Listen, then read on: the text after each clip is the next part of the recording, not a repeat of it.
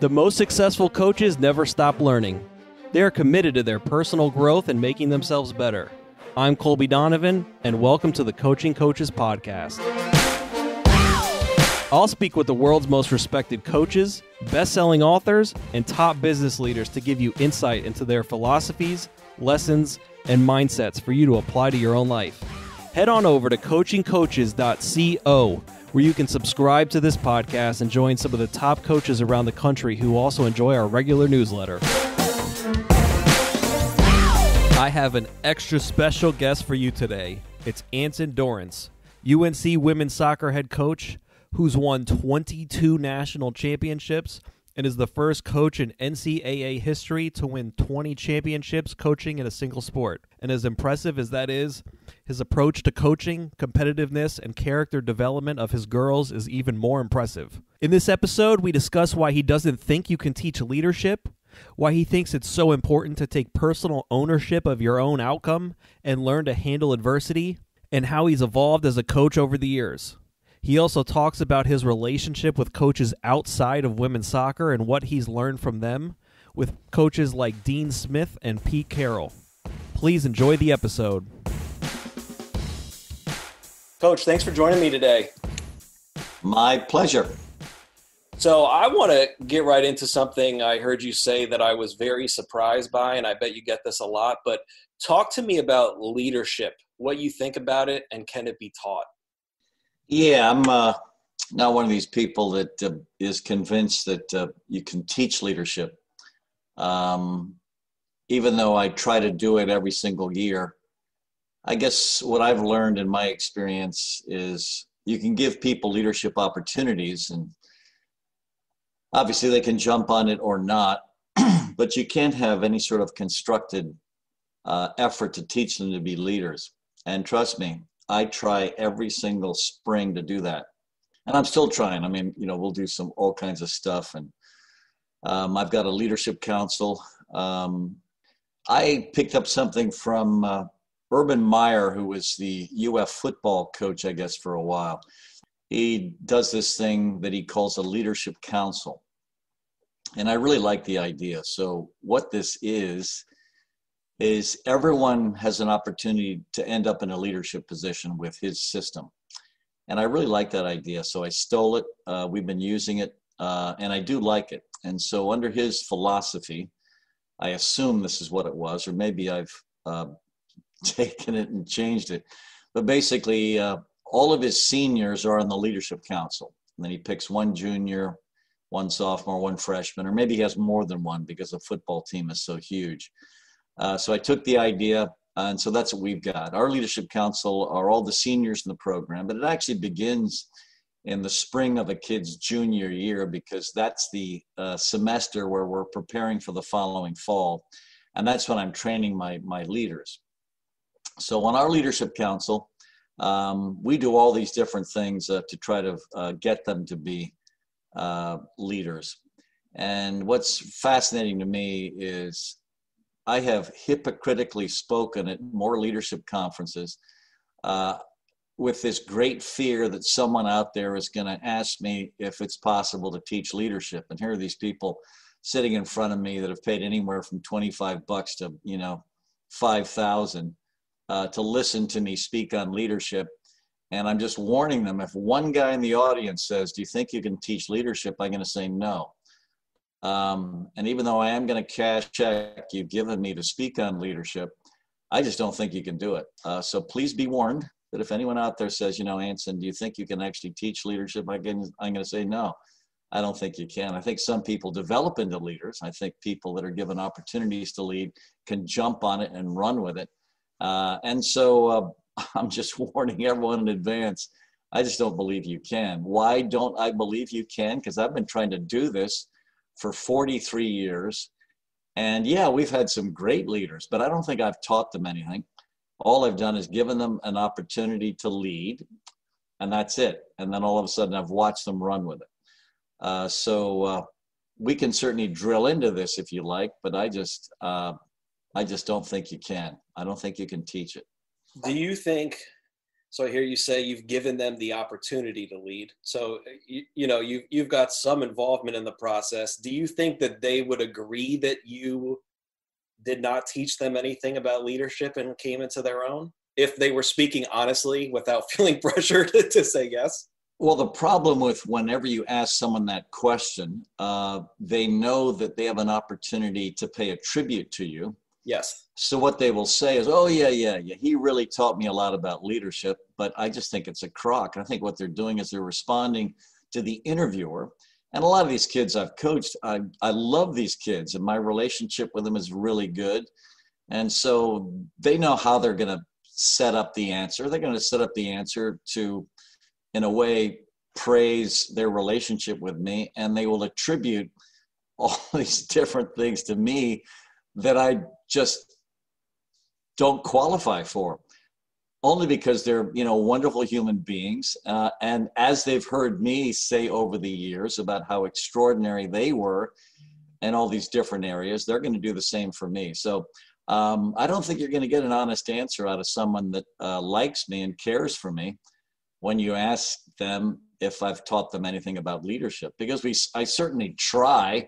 Yeah. Uh, and maybe they're going to attribute my efforts to having taught them something, but I just don't think that's the case. Um, and so, of course, I am, you know, undermining this whole industry of people that uh, are pretending that they're actually teaching people something about leadership. And now, you know, they're teaching tools and all this sort of stuff. And, you know, I could go ad nauseum about all the different, you know, things that they're pretending to teach you. Uh, but I'll tell you this, in my experience, uh, it just can't be taught. Now, what I'm always hoping for is that a leader will emerge. Uh, and some years they don't. Uh, and some years I am leading from the sideline. Um, and uh, we've got all these ways we qualify leadership. One of the ones that drives me most crazy is leading by example. Leading by example is another phrase for a great player. They're not leading by example. They just enjoy getting out there and kicking everyone's rear end in. Um, because that's what I love when I was playing sports at a high level. I just love going out there and you know just destroying people. Um, and that's what motivated me. That now every now and again, you know, something would come out of my mouth that demonstrated uh, some occasional leadership qualities. But trust me, there are a lot of us that just like going out there and destroying people, competing, winning. Um, they're not leading by example. Uh, they might be recruiting people to help them win, uh, and they might be recruiting them by you know working hard. But uh, uh, leading by example, I think, is also uh, an absolute uh, myth, and I think it's they're confusing it with great player. And so I know you're huge on personal development and learning and reading books, and we'll talk about that later. I imagine you've read Mindset by Carol Dweck, a book that most coaches mm-hmm. have read, talk about, refer to. How do you think about this idea that leadership can't be taught with what she talks about in her book? basically effort is everything. Um, so for me, uh, that's uh, that's what uh, Dweck uh, uh, taught me. Is it basically so much uh, of your success comes down to this growth mindset. And a growth mindset is all about, you know, committing yourself to working hard. Um, and I love that. I love anyone that tries to take personal responsibility for everything.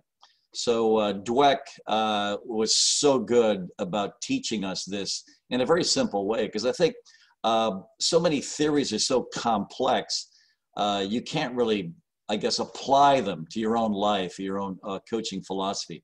But that's what's so good about Dweck. You can, because what we see is we see people with personal narratives that protect themselves uh, from pain. and this personal narrative is also protecting themselves from accountability. And the thing I love about Dweck's work is she shatters the myth about um, about basically how you're you're not accountable.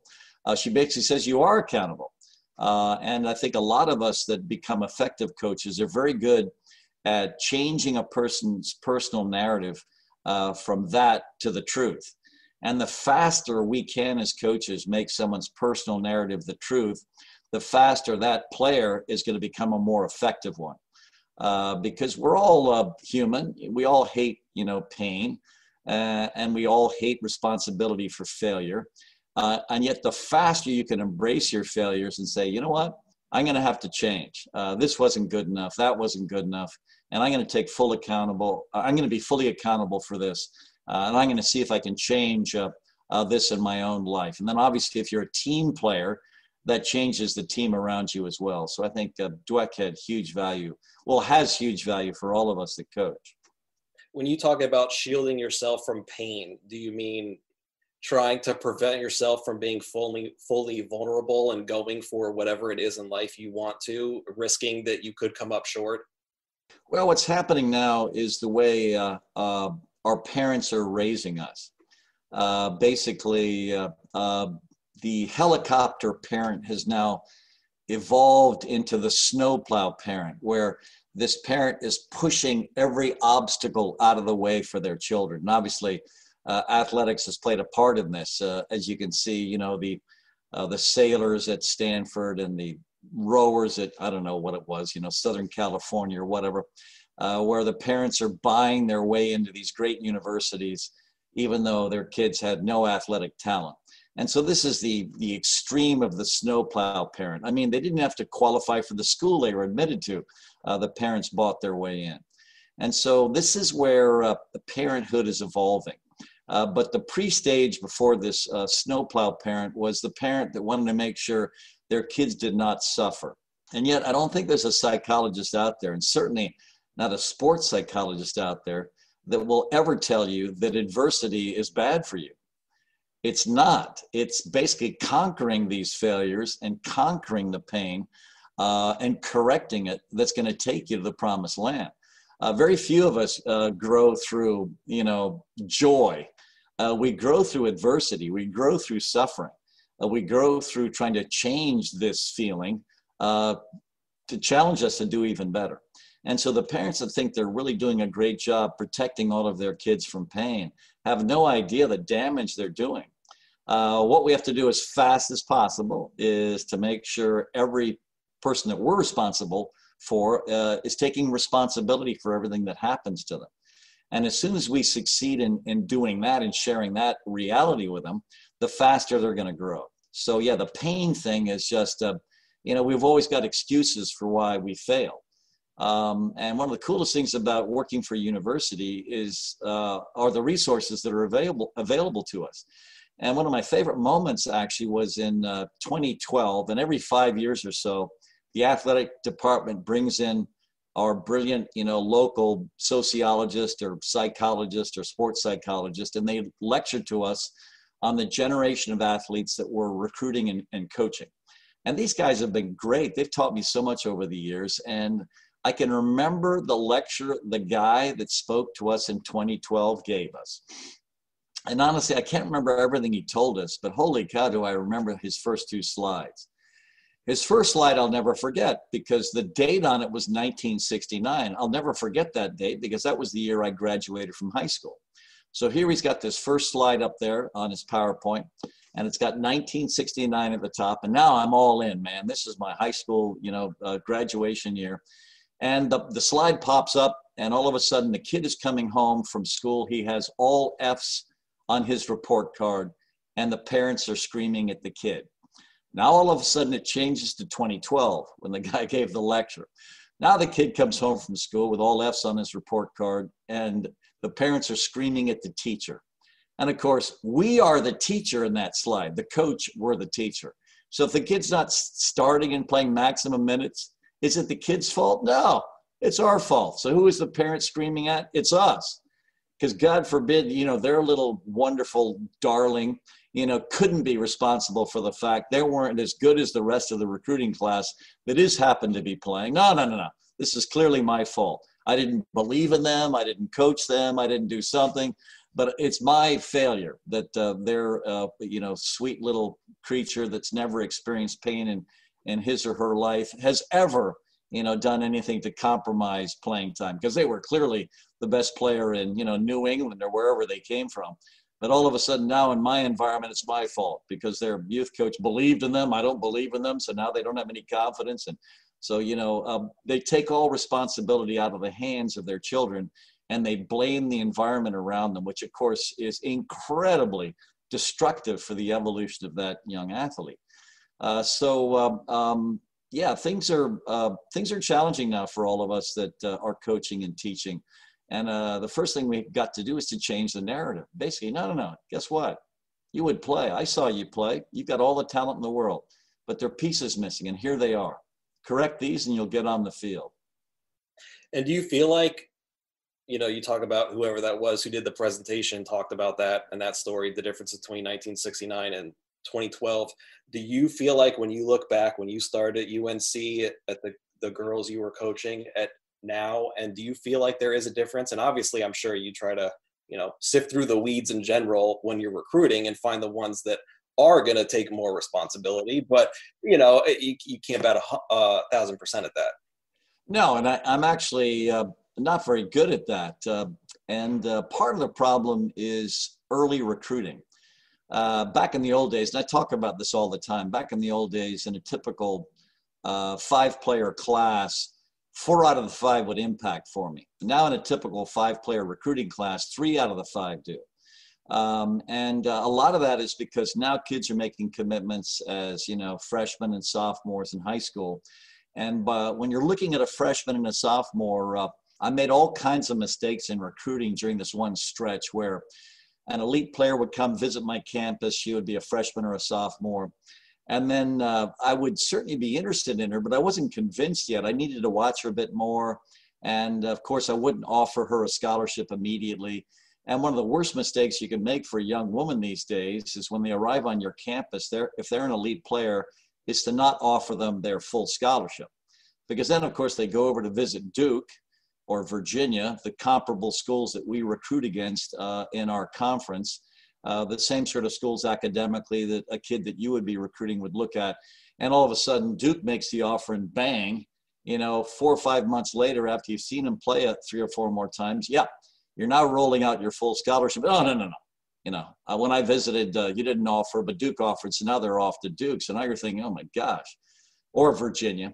So anyway, now you can't make this mistake. So now when a kid visits, you're thinking, oh my gosh, I saw them play, and yeah, holy cow, did I like their game? But am I really going to extend a full to them right now? And then all of a sudden you're thinking, well, I have to, because of course, what's happening tomorrow? They're visiting Duke tomorrow, because you know we're 10 miles apart.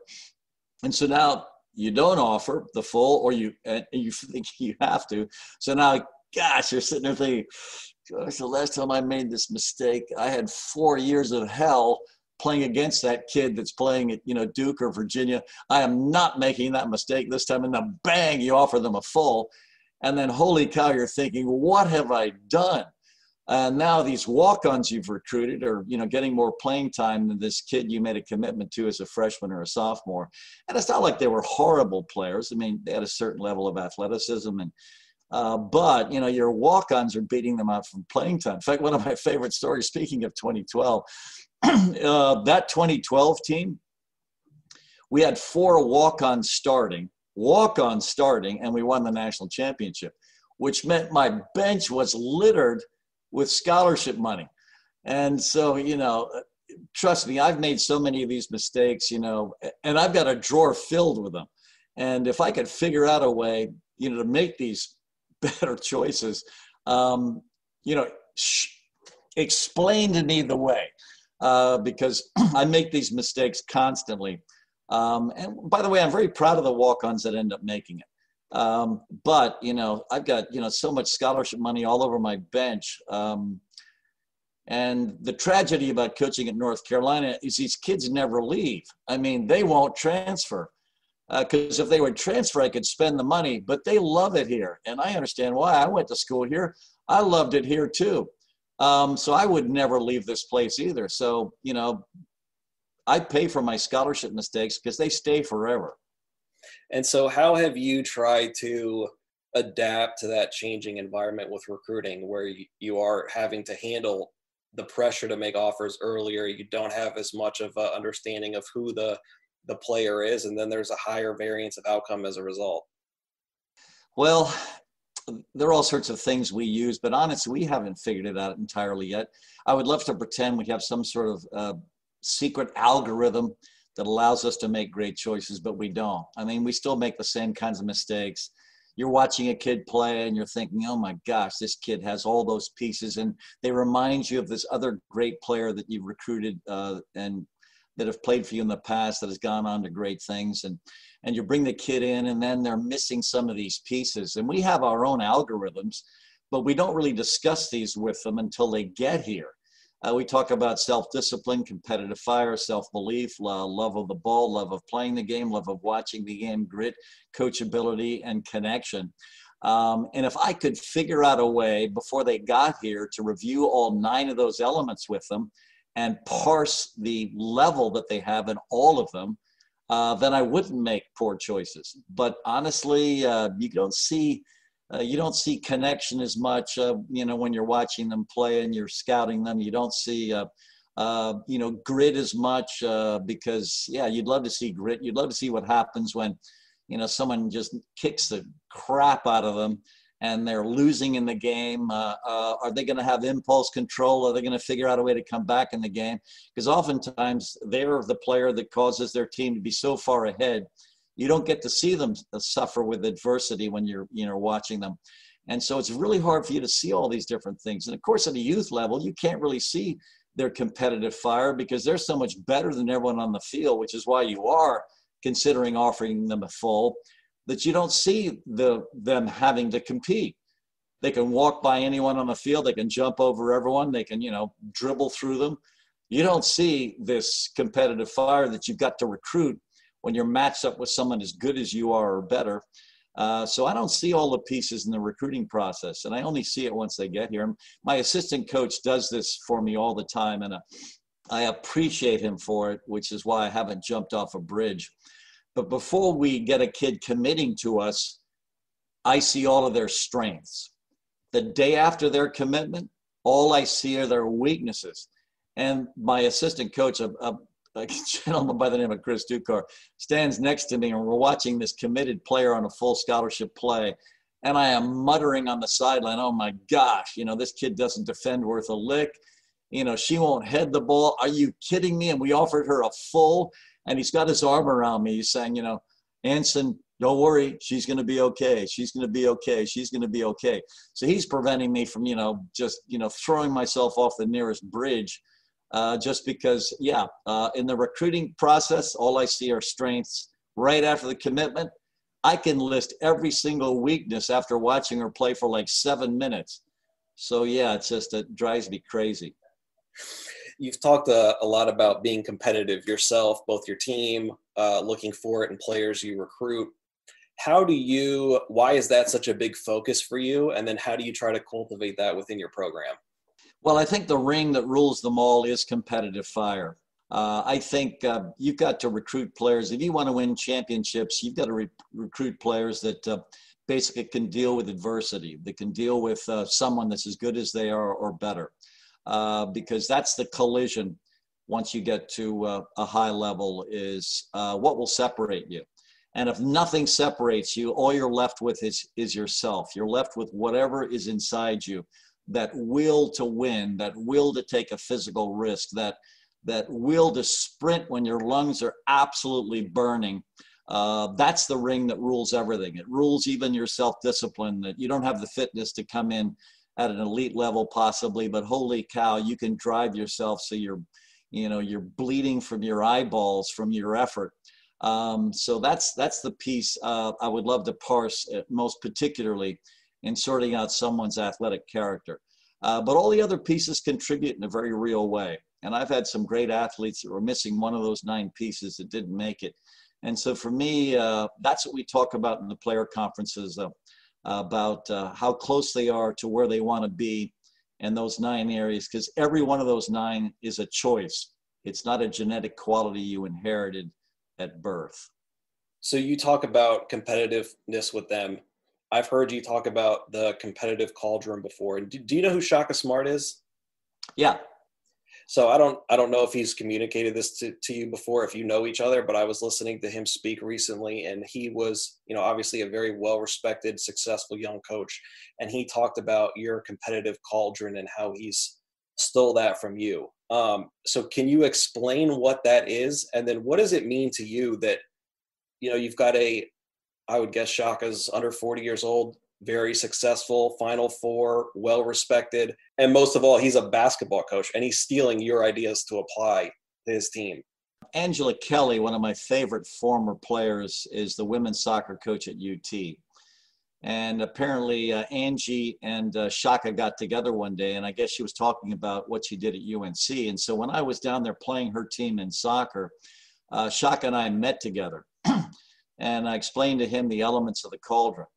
And uh, just to show you how all this stuff goes full circle, I learned uh, uh, the principles behind the competitive cauldron from Dean Smith. Uh, Dean Smith was just this extraordinary man that embraced me when I was young and just basically dumb as a brick.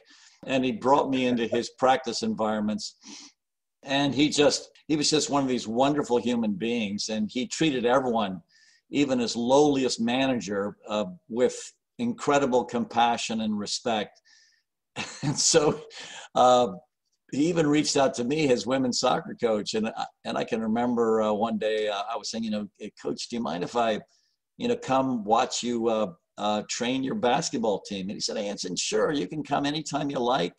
Just you know, give uh, my staff some forewarning so uh, we can tell you where we're going to have you sit during the practice and then we'll make sure that you have a practice plan right in front of you and and just bring your whole staff you know and whenever you like just let me know when you'd like to come. I said well coach tell me the practice sessions where you think i would get the most out of it. And he says well uh, you know i would say this coming week maybe come on uh, uh, tuesday. That might be interesting for you. So sure enough i show up on tuesday with my entire staff and we're all sitting there and we're in this designated area in the smith center where we're watching practice and uh, all of a sudden, this manager comes up to us before practice begins and he hands each one of us a practice sheet. And on it, to the minute, is what they're doing in every minute of practice. And first of all, right out of the gate, I was shocked uh, because uh, for years uh, I coached two teams at the same time. So I didn't really have a practice plan. I had sort of a general idea of what I was going to do in practice. Was this going to be a light day, a heavy day, or a fitness day, or a this day, or a that day? So I had sort of this general idea of what was going to happen. And I would always coach my men first, and then I would coach my women. And uh, my assistant coach uh, with the women, a wonderful man by the name of Bill Palladino, he and I, during the warm up for the women's team, would plan the women's practice. and so, you know, so here I am with Bill Palladino and the rest of my staff, and we're handed this piece of paper. So we're shocked already. And then it's down to the minute. Are you kidding me? Down to the minute? Because I am inventing, you know, stuff during my practice, how long this is going to go. And I'm sort of watching stuff, you know. Yeah, they're getting bored with this. Let's move on to, you know, the next thing or whatever. so now down to the minute. And all of a sudden, not only the down to the minute, but he's following down to the minute. So he's got, you know, his head manager at the scores table, you know, operating, you know, the shot clock, which tells him when this part of practice is over or whatever. Um, so anyway, to make a long story short, I'm watching this and I am stunned. There are assistant managers underneath every basket. Every t- time a guy hit, hit or missed a shot, it was recorded. They're playing a 3v3, 4v4, 5v5, or maybe even a 2v2 with the bigs underneath the basket. Every time a guy failed to box out for the rebound or boxed out, that was recorded. If they won or lost the 4v4, 5v5, or 2v2 thing, that was recorded.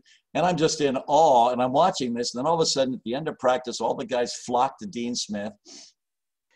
All the assistant managers sprint to the scores table. and I'm going to talk about walk to the scores table they sprint to the scores table. There, the head manager is taking all these sheets of paper, and you see him compiling that day's practice data. And I can see him furiously working. And then all of a sudden, uh, by the time Dean is finished addressing the troops, he turns around, his head manager hands him that day's practice data. They're ranked. The top five guys in practice leave the shower immediately. The next five guys are lined up to do suicides. And the last five guys are doing suicides until the end of recorded time. And I'm just sitting there, just my jaw has dropped for the organizational ability of this man, but also the accountability in practice. Everything counts in practice. Everything counts in practice. I was thinking to myself, gosh, that's the way I would like to be evaluated as an athlete. I want to win in everything. Uh, I want to win in everything. I don't want to w- lose in any aspect of any practice I've ever been involved in in any sport in my life. And I was thinking, oh my gosh, do I love this? Because my philosophy as a young coach is I wanted to design a practice I would like to play in. So, yeah, I want to have some fun, but I want to kick everyone's rear end in, and I want everyone to know it. I want to be acknowledged for the fact that I just destroyed you in this part of practice. And then later I destroyed you in this part of practice. And all of a sudden, Dean is handing this to me. So, what did we do? We took these ideas I stole from his training environment, I soccerized it, and I took it to a completely different level. So, during practice, my managers are recording everything. By the next day, on a bulletin board right next to my practice field, 28 different categories are up there. If we have a 30 player roster, you can look and see in 28 different categories where you rank from 1 to 30.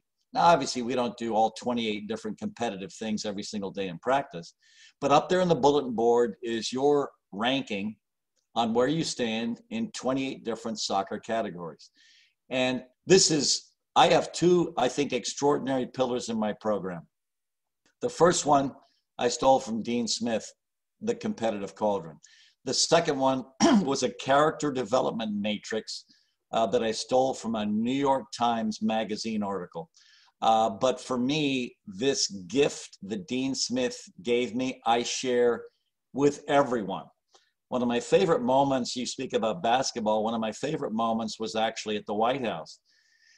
And this, I think it was in the summer of uh, maybe 2004 and you can do your research up but i think this is the right summer and one of the president bushes was entertaining all the division one national champions so they had i think almost every division one sport there uh, but they also had the division one football national champion and we were all lined up dressed to the nines trying to get through security at the white house this white haired guy is fighting his way up the line and I'm looking around, I can see him moving up the line. It's really difficult to move through this line. And all of a sudden, he gets right in front of me and he extends his hand to me and he says, uh, Anson, you know who I am? I said, I'm sorry, sir, I don't. He says, My name is Pete Carroll. I'm the football coach at the University of Southern California. And we use your book to train our football team with. I'm thinking to myself, Are you frigging kidding me? So here's this football coach, and I didn't know him from Adam. And it's not that I, yeah. you know, yeah, yeah, yeah. I mean, I just, I only follow men's basketball at UNC and international women's soccer. So I certainly did not mean to insult him. and I've gotten to know him since. I have huge admiration for him. First of all, for him coming up and telling me, and then when we're all getting our pictures taken together, his assistant coaches were also coming up to me saying, Hey, coach, I just want you to know that we use your stuff in practice. And I'm thinking, Oh my gosh, this is unbelievable. And then out of the blue, you know, years later, he's playing the uh, Carolina Panthers uh, in Charlotte, and he calls me up and he says, Anson, uh, I just want you to know I have so much admiration for everything I've learned from you. I want you to be on my sideline. We're playing the Panthers this, uh, you know, I guess it's Sunday, right, for pro football. Mm-hmm. Sunday, and we want you to come down and you know I want you to be there on my sideline with me, and I just you know, want to just pay you this tribute. And I said, you know, Coach, I'd love to come, but we're playing uh, the University of Miami. I can't get away. but but here's what I would love to do. I would love to come out to Seattle because by this time he was no longer coaching USC. He was now coaching the uh, Seattle team. And I said, I would love to spend a week with you. Um, is that are you game? And he said, Oh, Anson, you know, my team's struggling a bit this year. I don't think we're going to even make the playoffs. But yeah, listen, if we're in the playoffs, yeah, please be my guest. Please come on out. You can watch practice and everything. To make a long story short, he turns the boat around. All of a sudden, he is in the playoffs. His team is doing great. And who is he playing that week? We go out to watch him play. He's preparing to play the Panthers. And all of a sudden, I'm there, and I just can't believe the way I'm treated by this extraordinary man first of all, he's in this uh, theater seating, enormous auditorium where every single player on his roster is in there. All of his coaches are in there. And I did I didn't understand anything about Seattle traffic, so I'm there like 10 minutes late for this first meeting. I'm thinking to myself, well, if this had been Dean Smith, I would have been shot because with Dean Smith's environment, you can't show up late. And I'm thinking, this is absolutely horrible. I can't believe I showed up late, but I just couldn't believe the traffic in Seattle. So anyway, get I walk into this room and I walk in the back late, and all of a sudden he sees me walk in, and all of a sudden he says, "Gentlemen, I want you to know we're in the presence of greatness." And all of a sudden everyone's head is turning around. I'm thinking, "Holy crap!" And now I understand why everyone loves this man. He just makes you feel on top of the world, and he certainly made me feel on top of the world. And then all of a sudden I go to his football practice and all of a sudden, uh, in the red zone, it's the O line against the D line. It's the running backs against the linebackers. It's the receivers against the D backs. It's the number one quarterback against the number two quarterback. Everything is being report, recorded. This is what he calls competitive Wednesdays. And he has designed this particular day after the cauldron. And there are all these battles, and you can see the you know the uh, uh, the cornerbacks and the uh, wide receivers actually getting into minor fights as one is claiming the other one is cheating because of course one of them has ended up winning this particular duel and you can see all these just these really aggressive battles going on out there and that's exactly what happens in my cauldron in my cauldron um, they fight hard to win and if there's any sort of issue, I am the Supreme Court. They, they bring the case before me, and I usually end up dismissing it because I got out of exactly what I wanted. And I had this one player, uh, this wonderfully competitive kid that didn't have all the tools, wasn't particularly athletic, but boy, did she know how to win. And whenever anything was controversial, she would come up to me and complain about the fact that, you know, so and so cheated. And I said, well, make your case. She would make her case. I say, dismissed, you know summary judgment. No. So, and she would get mad as hell at me because everything she thought she was telling me was her right to win this particular case in the cauldron. And I said, listen, uh, Darcy, I got exactly what I wanted out of you. You fought like hell in that exercise. I don't care who won and lost that. The fact you lost it, I kind of like it because I know what's going to happen tomorrow. Holy cow, is everyone going to suffer from you tomorrow? And that's exactly what I want in practice. Is someone like you making sure everyone is suffering to win. And this used to drive her crazy because she thought the integrity of winning and losing in the cauldron was important to me. It wasn't. The thing that's important to me in the cauldron is that you fight like hell to win every single thing. Because what am I doing? I'm replicating the match that you have to win to win championships and to win gold medals in the Olympics and world championships, et cetera, et cetera, et cetera. And so I think now, finally, I think Darcy understands, and she's been out of school for a while, you know, what I was after. What I was after with the cauldron isn't the result. I was after the effort. I was after Carol Dweck. That's what the cauldron produces for me. And, and, it's funny you talk about that story with Pete Carroll because I know he's talked about uh, after he was let go at some point, I think with the Jets maybe, about focusing on competitiveness. And as you're talking about this uh, in the first however long we've been talking, it, that bleeds out of you. And I was thinking uh, about you two being very, very similar in that regard. Well, let me tell you this uh, um, Terry Liskevych and uh, Pete Carroll are friends. Terry Liskevych is the former women's national team and Olympic coach in volleyball for the United States. His daughter was a soccer player. And he got a hold of my book one day and really liked it. Uh, the book he got was Training Soccer Champions. And uh, he shared it with Pete Carroll way back in the days uh, when Pete, I think, was still coaching at USC. And I don't know his entire progression. You might know it better than I did, but I think he first went to New England. Is that true? I think so too, but you're right. Okay, good. I think it was New England because all of a sudden uh, Terry uh, is doing a volleyball clinic in Chapel Hill with my college volleyball coach. Uh, and uh, Terry wanted me to lecture in uh, one part of his two or three day long volleyball clinic for all these coaches across North Carolina and he brought me the New England Patriots preseason, um, I guess, practice plan. Uh-huh. and I'm not, I'm not going to get this exactly right, but I think I get this pretty close to the truth. Of the first 18 pl- uh, pages in this manual, the first 12 were littered, lifted verbatim out of my book without even changing a word. Um, and Terry showed that to me that this coach that I didn't know anything about in New England was using uh, training soccer champions as uh, basically a practice plan for how he was going to coach New England. So this is something that obviously resonated also with Pete.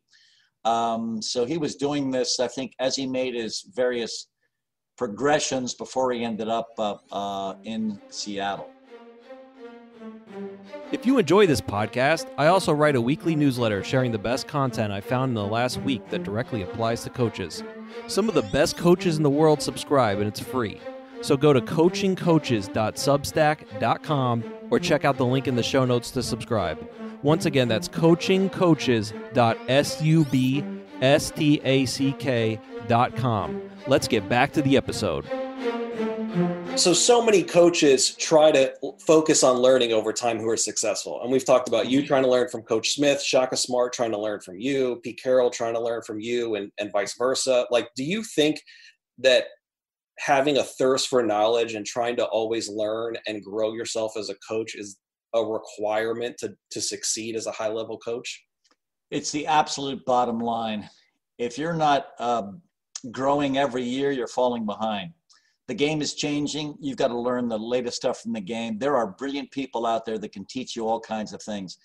If you don't have an extraordinary curiosity about the world and the people that are in it, you're not going to get to your potential and you're not going to drive the people around you to their potential as well which gets to the the other thing that i think separates what we do my wife will tell you that uh, i've got all these strange habits one of my strangest is i get the new york times every sunday i devour the sunday paper and the five pieces of the paper uh, i read in detail are the review uh, which is basically a sort of a a cerebral attack on uh, the political uh, temperature of the nation, but it can be anything. Yeah. Um, uh, the New York Times Magazine, uh, I certainly read the review of books, which is fabulous. I read the business section. Um, and so I, I read basically five different sections. I, I read almost every word in those sections. And by the way, if I haven't read it, I don't throw it away. It sits piled up in a corner, and my wife hates it. It's a fire hazard. I mean, et cetera, et cetera, et cetera. But I love it years ago, uh, I'm reading the New York Times Magazine, and this woman that was a graduate student in Columbia in Russian literature is speaking about this professor they hired just before she got there by the name of Joseph Brodsky. Brodsky comes in, she, he's a Russian exile poet, and he comes in and asks all of his PhDs in Russian literature and Russian poetry to memorize reams of Russian literature and Russian poetry all the uh, graduate students there with her, other PhD candidates, and I assume master's candidates, just couldn't believe what Brodsky was asking them to do. So they get together as a cabal and sort of object to this, saying he doesn't know where he is. He's at Columbia, we're one of the world's elite universities. He's treating us like elementary school children, and this is ridiculous. Let's go and tell him he doesn't know where he is. This is not for us you know, we want his uh, lectures. We want to understand, you know, what's going on. This is just ridiculous. Let's tell him we're not going to do this. So they all go into his office and and basically object. And he says, well, if none of you guys memorize any of this, none of you guys get your PhDs and masters. And so, of course, they get to work.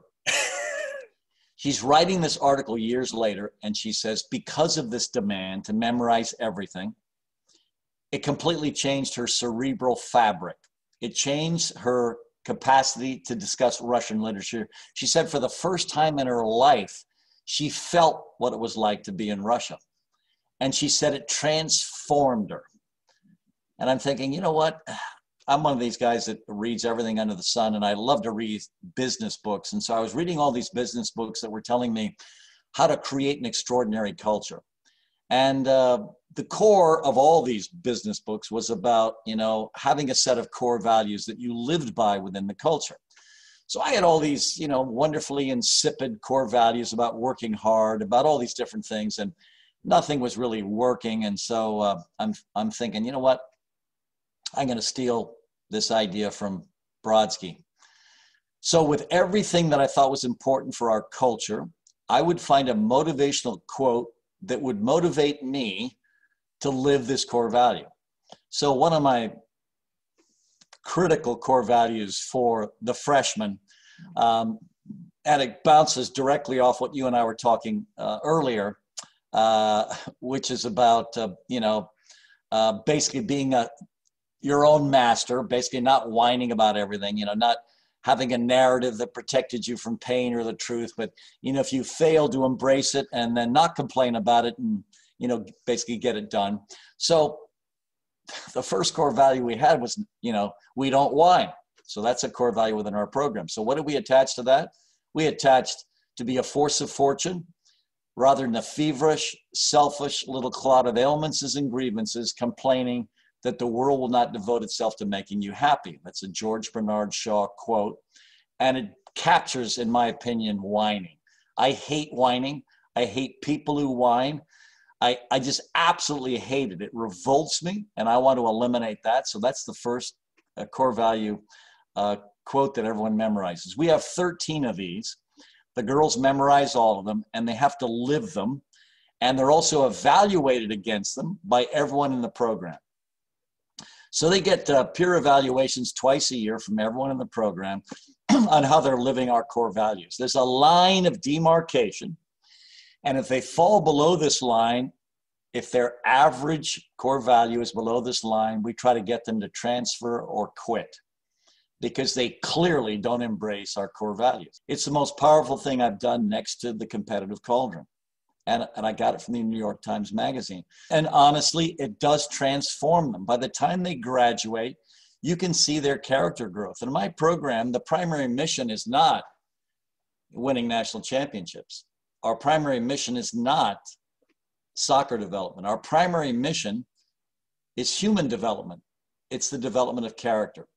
The number one award at our annual athletic banquet is not MVP.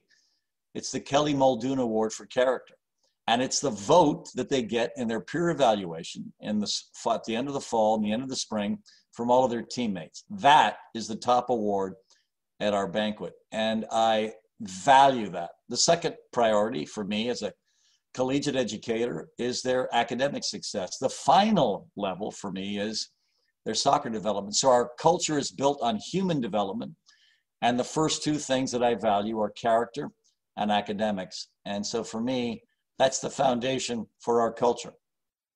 Do you think if you went back early in your career, if you and I were talking and I said, What's the primary role you have as the coach at UNC, that you would say those same things? Or do you think you've evolved over the career where either because you've evolved as a person or because you've won and now are able to stick your foot down on those things?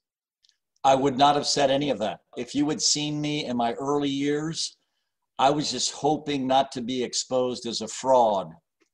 So, no. Uh, and for me, uh, soccer games were like chess.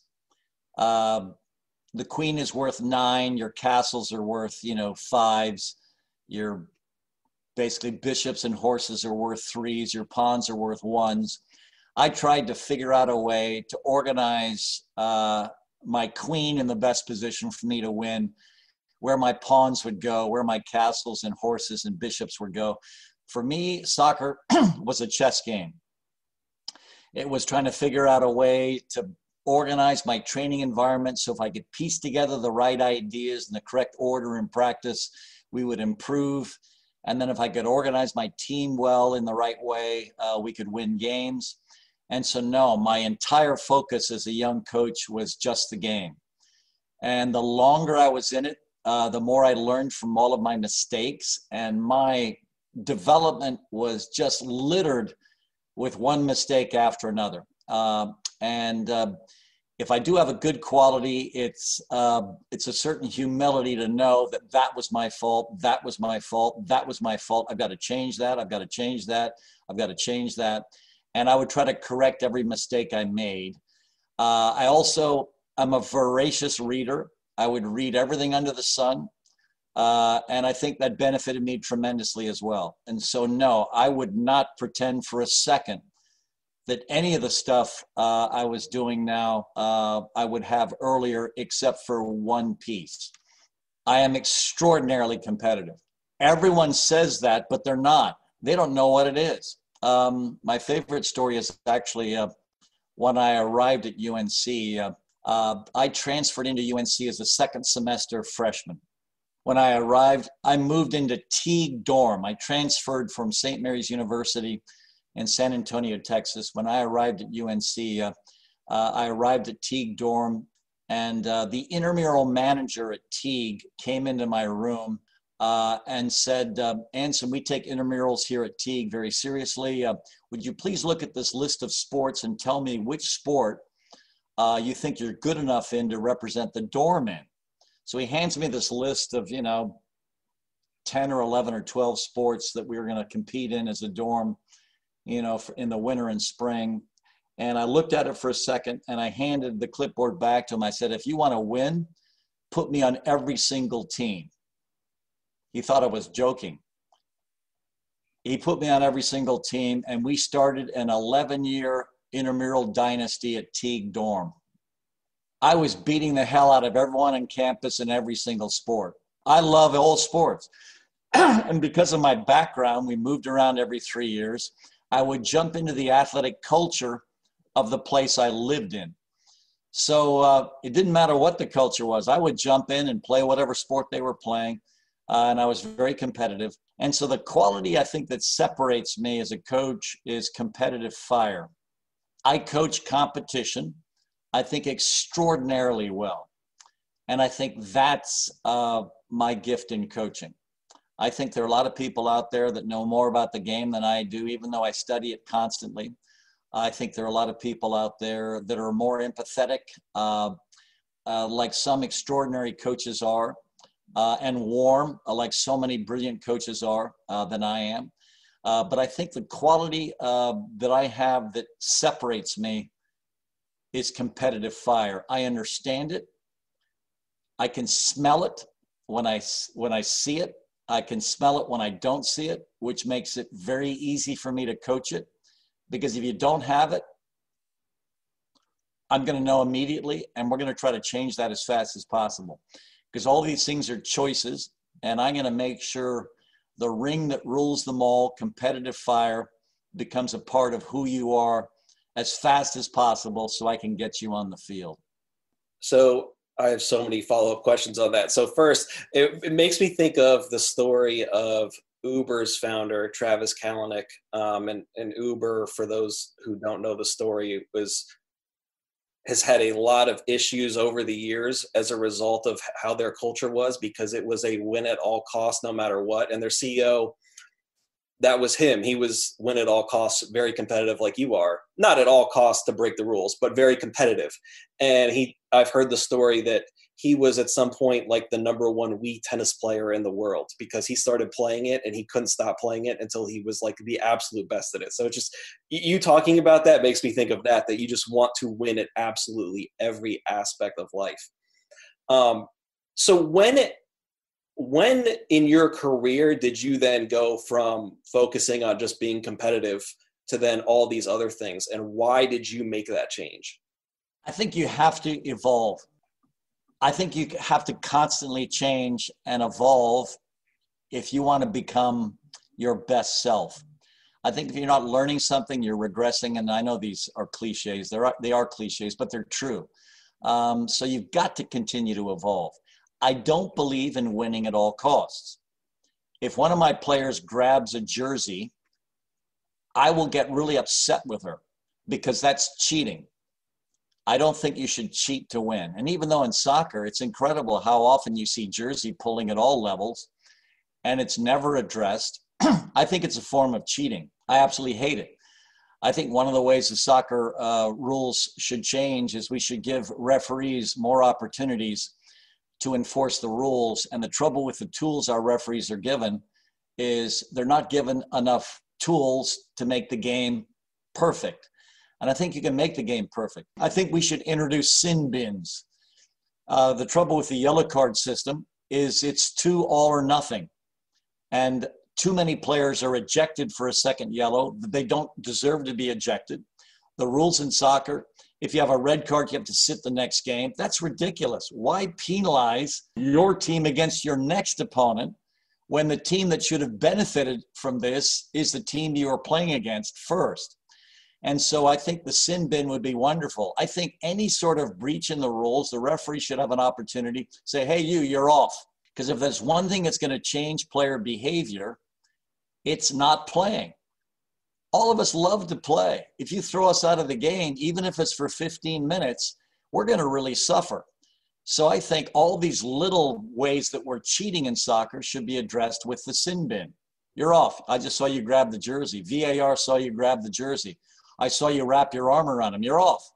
And let's eliminate that. It's going to make the game much more exciting because the defender is going to lose the tool to cheat with that's going to allow us to score more goals, et cetera, et cetera, et cetera. So I hate cheating. I don't want to win at all costs because, again, my priority is still this character issue. Um, so no. Uh, so I would love to create additional rules to prevent it. In fact, what was interesting this year, since we didn't have any crowds because of uh, the COVID, um, one of my girls, I watched what happened. I didn't see my girl pulling this other girl's jersey and I saw this girl basically take my kid out. And I was so angry that the foul was called on my kid. I got up and started railing against the referee. And the referee came over and said, Anson, your kid grabbed her jersey. And I was thinking, well, that is entirely possible because I couldn't see where her arms were. And so then immediately after the referee came over and told me why he had made that call, when it was clear to me my kid was fouled, is I screamed at my kid, and unfortunately, the mic picked it up, and I swore a little. And I was basically telling her, hey, leave that girl alone. In other words, don't you frigging grab her jersey. And it was caught on the mic. So, in the, you know, a lot of our games are televised. I could hear myself screaming at her on the mic with the swear word, you know, because, you know, I don't believe in jersey pulling. Uh, so, anyway, so no, I don't believe in winning at all costs, but I do believe in everything you can do to basically uh, win in everything you're doing without cheating. So, one more question for you before I get to the end of episode questions. So, you have obviously had incredible success. You've won over 20 national titles. You can afford, not financially, but I guess political capitally, to not do well for a bunch of years and still be able to stay have your job and keep coaching in the program. Not that you haven't i'm just doing a hypothetical. There you know you've got other coaches out there. Let's say i just get hired at university of x and there's a lot of pressure on me to win both on myself because i want to do well but also the university wants me to win. And i've got to balance okay i want to win a championship with i also want to develop my guys or gals. I want to have them grow as human beings in personal development. How do you balance those two pressures with job to perform on the field with to perform off the field with how they're growing as people while keeping your job?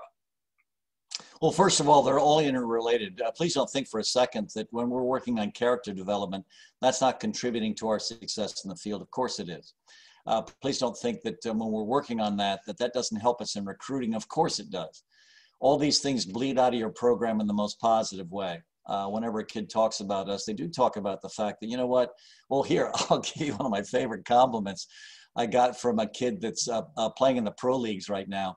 And uh, she was playing for a coach that uh, she wasn't really getting along with. Uh, and she paid me this backhanded compliment. She says, You know, Anson, when I played for you, when I left, I thought I could play for anyone. In other words, implying that, gosh, it was so hard surviving your practices I didn't think there was a training environment in the world where I would go to where I would struggle in any way. And so I understood that statement she was making. She says, You know what? But the thing I now understand about you is that when you criticized us, we felt the love through your criticism.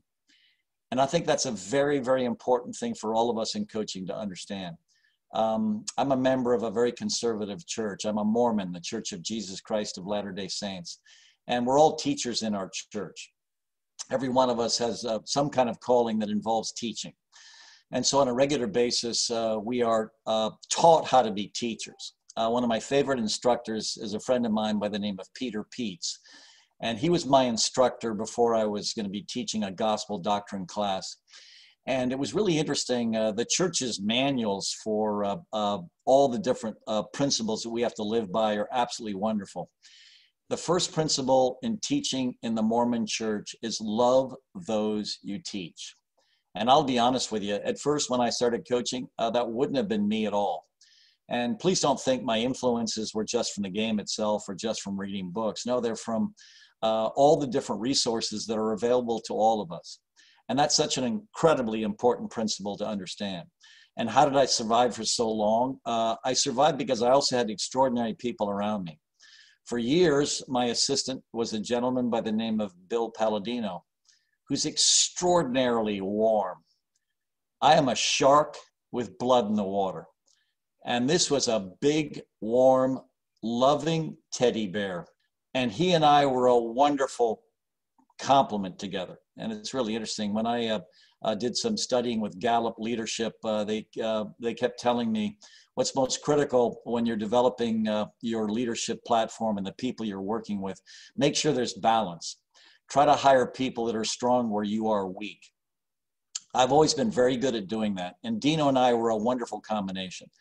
Dino has since stepped back, but now I've brought in uh, Damon Nahas and Heather O'Reilly, two more coaches that are just so uh, hilarious and loving, and they're naturally warm. Uh, and so these are all critical. So uh, these are people that balance off uh, uh, my fire because you need that balance in the coaching profession. You can't have these people that are all the same. So please understand that's also a part of this algorithm as you're trying to take yourself to your potential. But the most critical thing is to love those you coach because if you genuinely love them, you're never going to make a mistake uh, that destroys them uh, in any way.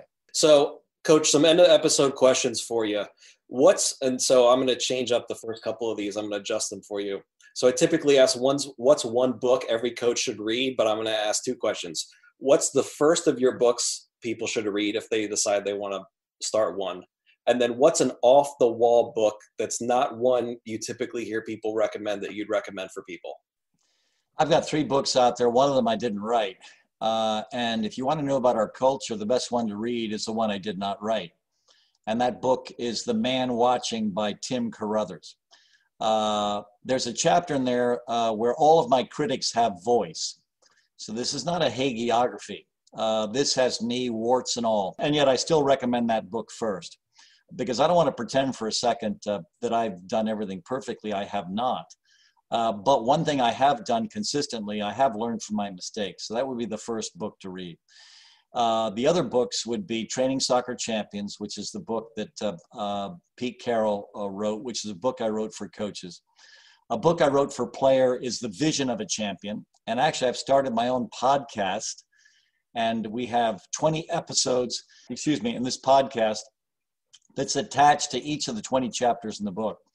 And the podcast attached to each of these chapters in The Vision of a Champion are people like Crystal Dunn and Tobin Heath, uh, two players that are currently starting on the U.S. full national team, uh, Lucy Bronze, who plays for the English full national team, uh, people like uh, Roy Williams, of course, our current basketball coach, uh, and other uh, incredible celebrities across the spectrum of all games, but also uh, our sport, uh, which will address all the chapters in that book. But the man watching is a really good study because Tim Crothers came down. He was a Sports Illustrated senior writer. He was getting jaded from covering the NBA for, for SI. And he went to UNC, so he had, you know, read about some of our success. So he came down to spend a year with me and just study what we were doing and, and writing a book.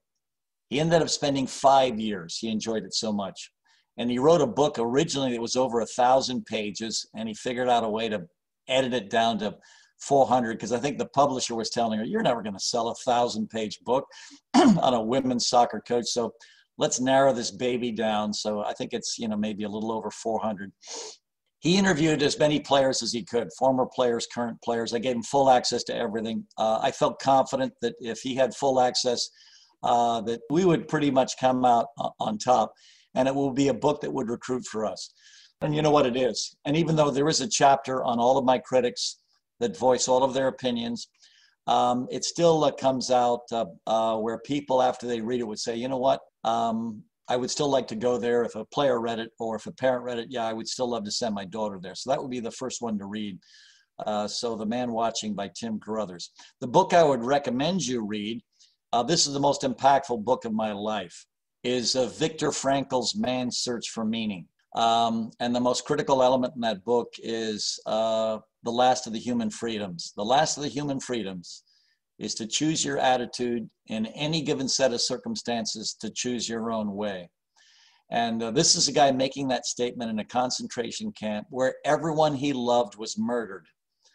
And yet he woke up every morning uh, with the last of the human freedoms to choose his attitude. If he could choose to have a positive attitude in that situation, in my gilded life and in your gilded life, Colby, and everyone else's gilded life who lives in this extraordinary country with all the freedoms that we have, certainly has the opportunity to choose that as well. So that book uh, is the most impactful book uh, uh, for me. The other thing I would also recommend people read uh, are David Foster Wallace's This is Water. It's the most extraordinary commencement address I've ever heard in my life. And the reason I attach that with Viktor Frankl is it speaks to a broader audience. You've got to have some cerebral bent to read uh, Viktor Frankl. You don't have to have any sort of cerebral or intellectual bent to read David Foster Wallace's This is Water. It is the most brilliant collection of principles that are taught in the most common language with the most common experiences that I think can teach us all how to behave because it basically teaches us about how all of us should select to live a compassionate life. Um, and I think uh, those two things together, and they're both very short reads, by the way, I think could impact on all of us in a most positive way. All great recommendations, and I'll link them all uh, in the show notes for those listening. Um, so, who's I typically ask what's one person who's one person you'd want to hear as a guest on the podcast, but I'm gonna change that for you too. So you've you've been able to throughout your career and life, you've talked about meeting presidents and Pete Carroll and Dean Smith. Who's one person you wish you could go spend a day with who you haven't to this point? His name is Bielsa. He coaches Leeds United. I am now a fan of Leeds. In fact, you couldn't have picked a more perfect time to interview me because I have been an Arsenal fan and I have finally given up. And this is very hard for me to do. It's almost impossible for me to mention publicly. I am switching my allegiance from Arsenal to Leeds United because of Bielsa.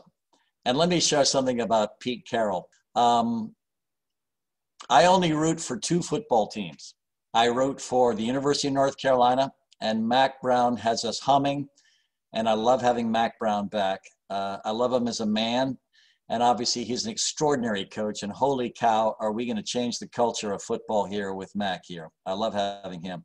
But I will also always root for any team that Pete Carroll is coaching. So uh, those are my my two football teams. Bielsa is a coaching genius. Because here's what I love about Bielsa he doesn't need all the expensive players. He took a team out of the championship, which is basically the English second division. He won the championship. He's now in the EPL, the top division in English football. And holy cow, do his kids play. And it's not like they're all these multimillionaires like the ones that are playing for the Arsenal or for Man United or Man City or Liverpool or you know Tottenham and all the rest of them. No, he's got a very ordinary roster with human beings that, as Carol Dweck would say, succeed through effort.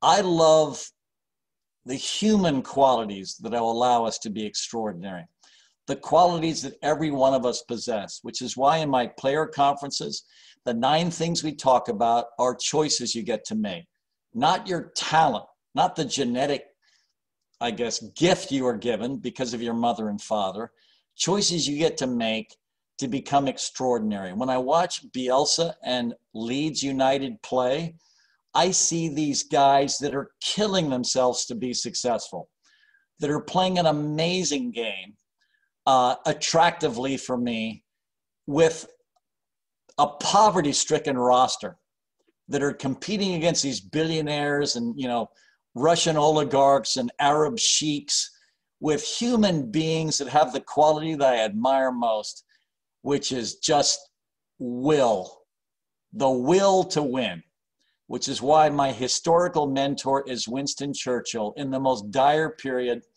in Western civilization's history. When basically an evil tyrant was trying to conquer the world, this one man stood in his way. And with the human elements that separate him from the rest of us, he basically had England survive and then obviously recruit the United States into crushing uh, the, one of the worst autocrats in uh, the history of the world. And I admire that. I admire the human qualities that Winston had, which is why I love watching Leeds United, but also watching Bielsa coach. Well, I'm glad we could break news of your new uh, on the podcast. That'll be big, uh, trending on Sports Center tomorrow. What's one area you're looking to improve in over the next year? I hired an absolutely brilliant assistant coach by the name of Damon Nahas and another brilliant former player of mine by the name of Heather O'Reilly. Uh, we've all, all got different ideas on how the game should be played. And we're in the process of trying to fuse all these ideas together. The trouble with a collegiate season is you're just tapering into every game. So the fall isn't the time to do it. But what's happened now is um, the uh, national championship for women's soccer has now been extended into this spring. And even though all five of my seniors have left to sign pro contracts, I'll be probably the only elite team in Division One without any of its seniors playing. We're going to try to do a Bielsa. Bielsa has figured out a way to compete against Liverpool with you know his his kids that just try hard. Uh, so we're going to try to figure out a way, since we will only have one game a week now, to train our kids into a completely different level. And even though we're not going to have the talent of a lot of teams that are out there, we're going to try to uh, build our success just off of this Bielsa quality that he has somehow magically injected into his players. Um, and we're going to try this fusion between me, uh, Chris Ducar, my longtime goalkeeper coach, uh, Damon Nahas, this absolutely brilliant young coach, and uh, Heather O'Reilly, my uh, new volunteer assistant, former all-time great for the United States and former Tar Heel, and see if we can uh, create a new player development paradigm. What's what advice do you have for young coaches listening to this? I think the most critical thing uh, is to constantly learn from everything you can there's so much uh, information out there for us on the internet now. Uh, we can study the greats, we can study them in detail. Uh, so uh, please pick out a mentor. Um, maybe pick out a mentor the way I've picked out my new football mentor by watching their teams play and say, you know what, I love the way they play. Uh, but make sure it's not the way they play just because they had the deepest pockets and they bought these incredible players and just threw them out there uh, which is what I really enjoy about watching Bielsa. And I know his roster is not the most expensive, but boy, do I love watching them play. And he figures out a way to make this extraordinary roster competitive. I have to pick someone that's in an environment similar to mine. It's very hard for me to recruit a player that Stanford recruits. They end up getting them, you know, like 90% of the time. It's very hard for me to recruit a Catholic that Notre Dame recruits. They get them 75% of the time. It's very hard for me to recruit a foreigner that uh, Mark Krikorian recruits at Florida State. He will get them, you know, 95% of the time. It's very hard for me to recruit a kid that Duke or Virginia recruits. Uh, they will get them such a large percentage of the time. So I've put myself in uh, Bielsa's shoes that I've got to figure out a way uh, with playing against a team uh, like Virginia that has seven kids I offered major scholarship money to, I've got to figure out a way to try to beat that team. So I've got to figure out a way in my training environments to take my kids uh, to a level to compete with these other rosters that are more talented. Uh, so that's my unique challenge, which is why I have picked a mentor that's basically doing the same thing. So pick that mentor out, but pick that mentor out for the right reasons. It's great advice. Last question, coach. What's the darkest moment you experienced professionally and how did you overcome it? Well, basically, uh, uh, I had cut this player, and I don't cut many players. I think I've only cut like three players in my life. I cut this one player, and her father uh, recruited uh, another player off my roster, and I was sued for uh, uh hostile environment. Uh, hostile environment is under the um, category of sexual harassment. So you can imagine uh, the way the press took off with that sort of uh, lascivious background. Uh, there was a big article in Sports Illustrated uh, about this. Um, and it was just a really, really a challenging time, a challenging time, certainly for my family, because uh, all these people would call the house. Um, and, you know, it was just, uh, there were all this stuff going on. And, you know, looking back now, um, I'm glad it happened because holy cow, now am I bulletproof. Uh, there's nothing like having this sort of extraordinary crisis in, in your life to make you appreciate everyone around you. Because what was wonderful is my team stood behind me. And then, of course, because uh, this was a, a, a lawsuit, uh, the Attorney General of the state of North Carolina got into it. And in order to protect me, he emailed all of our former players to see if there was any credibility to this. And then all of a sudden, what this uh, North Carolina Attorney General did uh, was he kept sending me these unbelievable statements from all of my former players. And so, even though it was really hard at the time, um, and obviously I thought it would absolutely devastate me in recruiting, it was extraordinary how nothing uh, negative happened. Uh, basically, uh, no one believed them. Uh, the case uh, was eventually settled. Um, and I read all these incredible emails from all of my former players that stood behind me. And uh, it was just one of those just amazing uh, uh, feelings. And then the other thing is um, um, my eldest daughter, uh, when I would get these crank calls, and of course she was a teenager at the time, uh, maybe 13 or 14, I can't remember. She would pick up the phone and she was so polite. I could tell it was a crank caller because all of a sudden her facial expression would change into a frown. And she would wait for the person to finish what they were saying, and then she would just attack them. And then I would pull the phone away from her and basically just hang up. And holy cow, was it wonderful to watch one of your kids just attack these people on the phone. I mean, uh, there's nothing like family when you're attacked. And uh, this wonderful little kid who's now in her 40s, it was wonderful to see what happened to her life because this extraordinary young woman won a MacArthur Genius Award. She's one of the best uh, rhythm tap dancers in the world. She's got her own dance company. She's won so many awards, it's unbelievable. But you could see the seeds of this uh, young girl's toughness uh, just react to me being attacked. And, uh, you know, from that day forward, I was thinking to myself, you know what? I'm not going to worry about this kid. She is absolutely fine. You know, listening to her come to my defense. Uh, and also, it brought the family incredibly close. Uh, and so, again, it gets back to what I was sharing earlier. There's nothing like adversity uh, to pull people together, uh, to get you to appreciate what you really have, uh, to get you to uh, basically uh, uh, develop a kind of toughness uh, which I think is critical if you're going to navigate this world because life is difficult. So that was the most difficult moment of my life professionally because it involved exposing my family to this vitriol. And then, of course, uh, the press, you know, went to town. And so that was difficult as well. But the program uh, didn't stagger. The players all came in behind it uh, we continue to recruit well. We continue to win uh, national championships, uh, and uh, it just it just showed how strong our culture was. Yeah, well, I appreciate you sharing. I cannot imagine, but I'm glad uh, some positives came out of it. So, Coach, thanks so much for uh, joining me today. I appreciate it. You've been listening to the Coaching Coaches Podcast.